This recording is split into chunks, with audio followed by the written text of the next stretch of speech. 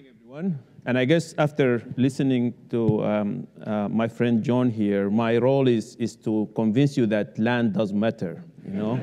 uh, so I have maybe to change the title, but land occupies only 30% of the area, the surface area of the Earth. So, I mean, he's on the majority side, so he could claim that land doesn't matter.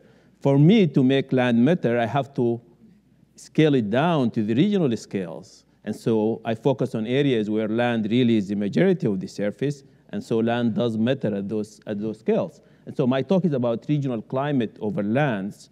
And I would like to leave you with two messages. One of them is, is land surface processes do matter in shaping climate variability at regional scales, and I'm going to show example for that.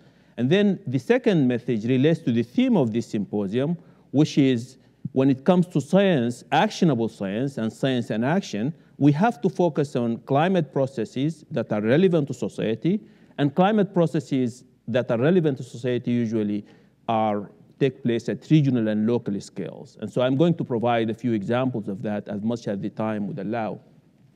The picture I have of there is a picture from Africa. Um, you see the Sahara Desert, and you see when you look at land masses, large part of them is deserts, but you see vegetation. And vegetation is important because it not only plays a role in the water and energy cycles, but also in the carbon cycle, and that's something I'm going to touch on. So being a hydrologist, I would like to start with um, some picture of the global um, rainfall distribution. This is the global rainfall distribution from TRMM, and it shows the distribution of rainfall uh, basically, um, uh, if you look at July, maximum of rainfall occurs um, over the Western Pacific Ocean, but there is maximum that occurs over Africa and over South America. And you could also see the monsoonal rainfall and how that extends into Asia. While there is recognition on the role of sea surface temperature in shaping those rainfall distributions and circulations um, over the ocean, it's not very clear what variable over land plays the role of SST in basically dictating the uh, circulations and the rainfall distributions that we see over, over land, and that's something I'm going to try and address. And in addressing that, I resort to this set of observation that came from the um, FIFE experiment which was done over Kansas uh, during the 1980s in North America, and it looks at two uh, fundamental variables. Uh, one relates to the radiation balance at the surface, which is the albedo, the fraction of solar radiation that gets reflected. And the other is less known ratio, which is the Bowen ratio, uh, which relates to the ratio of sensible heat flux to latent heat flux. And that's basically the partition of the energy into sensible and latent forms. Both of them decline consistently and persistently with increasing soil moisture and with denser vegetation. And that has to do with the hydrologic cycle where basically soil moisture, uh, the water in the soil absorbs more of the photons that gets incident on the surface, and also the control of vegetation and soil moisture and evaporation would increase evaporation as the soil gets wetter, and that would tend to reduce the Bowen ratio. So I take that fundamental understanding and I try to put it into a framework, a simplified frame, framework on how does the land surface plays a role in shaping these distributions of rainfall and dictating the kind of circulation that you may get. So both of them, the lowering of the Bowen ratio and the lowering of the surface albedo works through the radiation balance and the land surface to enhance the net surface radiation over, over land. And as John was saying earlier, the ocean is a fluid where heat could be transported laterally. Over land, it's a solid, and so we cannot have lateral transport of heat. And that's why the net surface radiation over land dictates the total flux of heat, including sensible and latent forms. And that's so net radiation over land is a more important variable than over the ocean because over land, that's the only source of the total flux of heat. Then that would dictate the energy in the boundary layer, and that will dictate the vertical uh, distribution of energy in the atmosphere and the horizontal distribution in energy in the boundary layer. And both of those will dictate the um, occurrence of rainfall and the uh, development of circulation. What you get from this framework is a positive feedback by which wet soil moisture conditions, denser vegetation would lead to conditions that would enhance the, um, the uh, rainfall and would lead to more wet conditions and more vegetation. The albedo side of this is basically rooted or very consistent with the theory of Charney in 1970s, where he proposed that the albedo feedback at the desert borders in Africa, you know, the uh, basically albedo will tend to reduce the energy at the surface, and that will tend to uh, basically enhance the subsidence at the desert borders. So it's very, it's very similar in that, in that sense. However, the, uh, the other side of the story here comes from the necessity to include water vapor when we think of those dynamics, something that Charney did not include in his original study. In the 1980s and 90s, a very famous or very popular problem to look at land-atmosphere interactions is the deforestation of the Amazon. This is a work by Carlos Nobre, in which um, basically you look at the climate with and without the Amazon forest.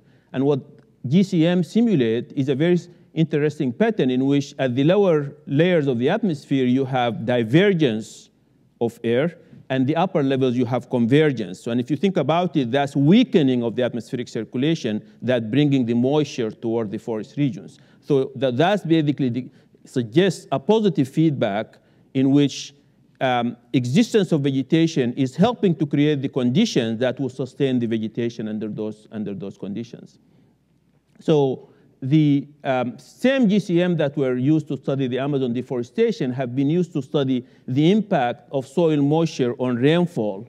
This is, this is from a study by Randy Koster um, uh, from NASA, in which they identified three regions as hotspots for areas where soil moisture conditions are important in explaining variability of precipitation. Again, Africa stands out, the same region that Charney looked at earlier, and by focusing on Africa, I would like to draw your attention to this region of Africa, West Africa, where there is a sharp gradient of rainfall from the coast further into the, into the north.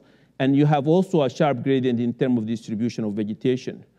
Guiling Wang here at MIT um, around 2000 developed a model that utilized the fact that this region has a high degree of zonal symmetry. Um, and so she used that model and added to it a component that represents the dynamics of vegetation so that trees and grass are no longer just parameters that are specified in the model, but also variables that evolve as the climate changes and as the climate varies. And so here she simulated the equilibrium distribution of precipitation and the equilibrium distribution of net primary productivity, which they are coupled quite significantly in this. And then she did a very interesting set of experiments in which focusing on the desert border, the grass region in the desert border, she started varying the density of the vegetation in that area. And here you see the kind of equilibria, climate equilibria, similar to what John talked about earlier, looking at the ocean. There is also the possibility for multiple climate equilibria over land regions. And here she simulates three types of equilibria that basically correspond to greener conditions and more desert conditions in this part of the ocean. And so that's the basis for the first time over land to have the a theory that basically predicts potential occurrence of multiple climate equilibria in the coupled land atmosphere system based on a physically based climate model. So at the same time Wang was doing her studies here at MIT, Martin Claussen and his colleagues at the Max Planck Institute in Germany were looking at the same problem from this theoretical perspective, and they defined two types of basically functions. One defines vegetation and how it relates to precipitation, and the other how precipitation relates to vegetation and land surface condition, the same kind of, of, of uh, description I had, I had earlier. So if you think of it, this equilibrium point that they define in their solution here, this equilibrium point basically um, uh, connect to this, um, uh, I think this is not working here. So connect to the,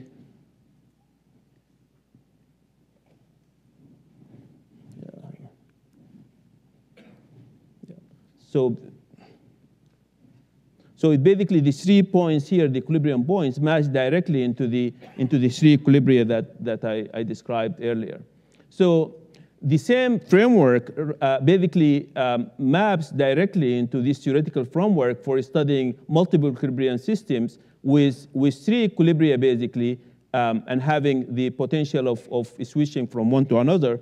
In, in, in Wang's simulation, she was able to simulate the two stable equilibria, but even more interestingly, the unstable equilibria, so that if you start the system close to this unstable equilibria, then the system would move depending on, on the interannual variability, to one of the two stable equilibria. It's a very interesting concept that's actually very similar to the concept that was proposed by Ed Lorenz in one of his papers about intransitivity. So the system is intransitive in the sense that if you set it in one initial condition, then it will, it will continue in that, in, that, in that equilibrium. So in order to test this theory, you know, now I connect to some of the earlier presentations. Um, David McGeehan talked about, about the, um, the paleoclimate of, of Africa. And here, these are pictures from caves in the middle of the Sahara Desert showing animals that would not really be, you would not be able to see in today's climate. So there is evidence that 6,000 years ago, the Sahara Desert was much wetter. So these are Paleolithic levels that were much higher than what, what's being now. And so the expansion of the Sahara Desert, something that happens like 6,000 years ago, 5,500 years ago, is a good test bed for, for, this, for these concepts. Here is a reconstruction of that history and it shows how in the last 10,000 years, the climate of the Sahara basically evolved with human settlement that were uh, scattered around, um, around uh, the desert area, basically with the change in the climate, people moved to the Nile Valley, and that corresponds to the actually the initiation of when the pharaonic civilization started around, around the same time where that climate change happened. So not all climate change would really result in negative, so impacts in a way that the emergence of the pharaonic civilization was related to a climate change that was um, that that basically with the expansion of the Sahara of the Sahara Desert. What's interesting here is the magnitude of this shift is about four degrees. And that's what we tried to test the model. Irizarry, working here at MIT, tried to see what kind of combination of processes would lead to expansion of the Sahara Desert by those four degrees. And so she had a set of experiments in which she varied three factors. One of them is the solar forcing, so basically the orbital forcing and its impact on distribution of solar radiation at the top of the atmosphere. The other factor is inclusion or exclusion of this biospheric feedback, the vegetation uh, rainfall feedback. And the third factor is basically the initial condition. And so this is, this is done with an initial condition of vegetation that basically looked similar to today's vegetation. And you know, here you see that only with the orbital parameters, you have an expansion of the desert border corresponding to 200 millimeters of about one degree. When you include the vegetation rainfall feedback, that moves to become like two degrees, which is still smaller than what had been observed, which is about four degrees.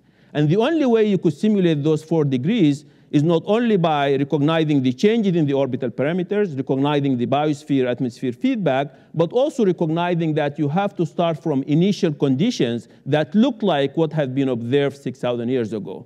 So this is really very important in, in that, you know, this is not only that the intransitivity in the climate system is important, but without recognizing it, you may not be able to simulate the past climate. And so this is a good case for sensitivity to initial conditions not for weather systems, which is something that we all recognize after the work of Lorenz and, and, and appreciate, but for also climate systems where the initial conditions for what you do the simulations could also be important in what kind of climate that you simulate. So with that, I would like to quickly then move to the second part of, of what I would like to talk about in a few minutes and give you examples that actually respond to what we heard earlier in the keynote address about what kind of things that we need to do in order to motivate action on climate change. And so to, for, for climate change impact studies, land is the domain that we will have to focus. And here I would like to basically provide a few examples from my own research. This is a recent paper that we have about heat waves in Asia. And it focuses on the Persian Gulf. And the Persian Gulf, to many, uh, in many ways, could be looked at as a lake on a land surface. It's a very shallow system of about 38 meters in depth and it receives water from the ocean, but receives very little heat. And that's why the lateral transport of heat is not important. And the theory that I described earlier would predict that you would have much more energy in the boundary layer over this wet area. Um, and that's, and that's what, what's being observed in the current climate. And here, these are projections into future climate that basically point to the fact that this, the Persian Gulf, which we describe as the hottest spot on Earth, when you think of the total energy, including water vapor, could have significant risk of developing conditions that would limit the habitability of the region. And so the Persian Gulf is the hottest spot on Earth now, and so it's likely that in the future, with global warming, that that's where a region where, where conditions could, could become less habitable compared to another region. Another example of systems that are important to study infectious diseases. This is work done here at MIT, developing a new class of models that are suited for simulating the processes that occur between the climate forcing, the hydrology, the entomology, and leading to the actually the immunology, which is the process within the human body. We think of the, the immunology of a human being is like an integrated, an integrated measure of, of past climate variability. Think about that. And so this class of models have been used to try and simulate what would be the impact of climate change on malaria transmission in Africa, one of the major global health challenges in that, in that part of the world. And here, actually climate change is, there is less, we, we show that there is less risk for expansion of malaria as a result of climate change. The same reasons that, you know, with the warming, the Persian Gulf, you have a high risk with malaria, climate change kills mosquitoes. Mosquitoes, survival of mosquitoes is strong function of temperature. And so with warming, you have less mosquitoes, you may have less malaria. So there is a less, there is a less risk of malaria in Africa as a result of climate change.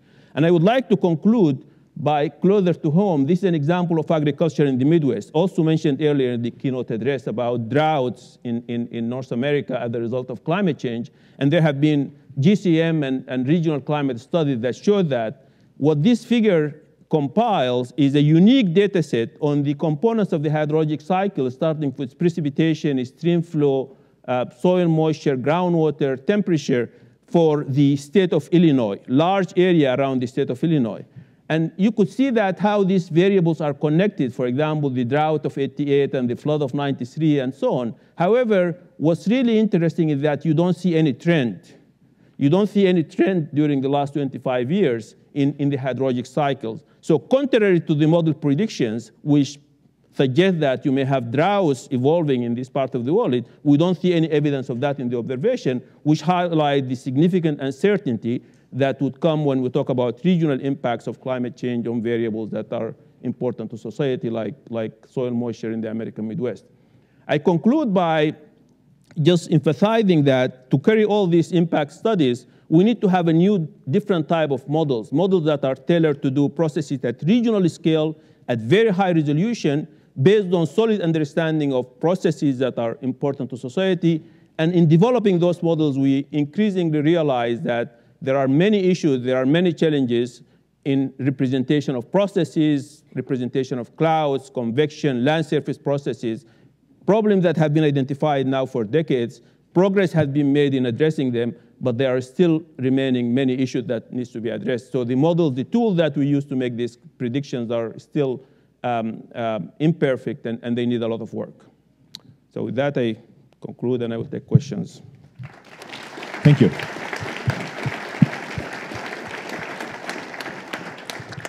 Time for one quick question. So it, wasn't clear from your description of the Sahara Desert what the human impact was. Are, you suggesting that humans, through manipulating vegetation, caused expansion, or, or you say that's not? So this is looking at the climate of that region 6,000 years ago.